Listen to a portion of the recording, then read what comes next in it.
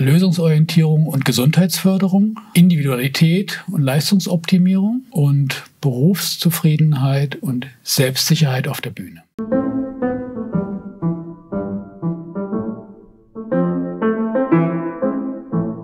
Perspektiven ergeben sich eigentlich aus dem großen pädagogisch-physiologischen Werkzeugkasten zur Gesundheitsförderung bei sich selbst, bei den Studierenden, SchülerInnen, bis hin zur Leistungsoptimierung, zum Beispiel durch lösungsorientierte Ansätze im Bereich des Aufbaus Bühnenkompetenz.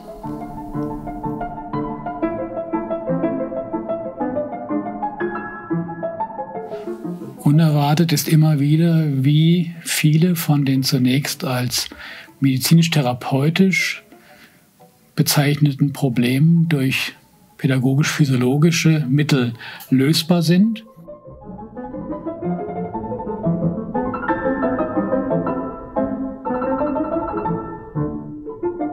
Genannt wurde schon die Möglichkeit, Einzel- und Zweiergruppenunterricht zu haben.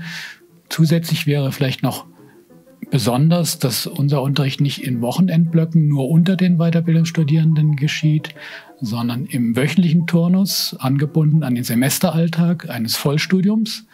Das heißt, es bestehen viele Möglichkeiten, die Hauptfachstudierenden zu begleiten, zu beobachten. Ein großes Feld an Hospitationsmöglichkeiten, Teilnahme an Wahlfachveranstaltungen und vor allen Dingen auch Einblick in die Forschung, zum Beispiel hier in Zürich an das Handlabor und auch die Möglichkeit, an Forschungsprojekten teilzunehmen. Einige von unseren Absolventinnen haben durch ein MAS-Studium Musikphysiologie die Brücke geschaffen zu einem Doktoratsstudium.